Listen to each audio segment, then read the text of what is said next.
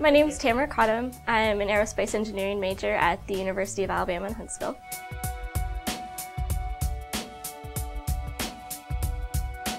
When I was younger, my mom would always take me outside, show me the stars with her telescope. It really inspired me to be interested in space. Uh, growing up, I found myself to be more interested in the technology behind the exploration. So, um, human spaceflight, satellites, I really wanted to get involved with designing and building those.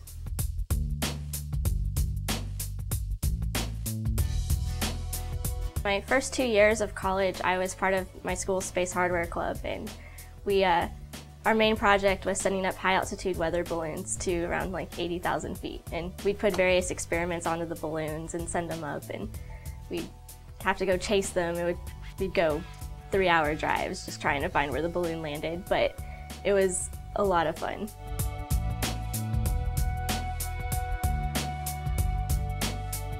I love painting. I, I love going to an art museum, spending hours there. Uh, so right now I paint as a hobby and uh, I've kept up astronomy as well because my mom taught me a lot so I have my own telescope in my dorm room and I'll take that out every now and then.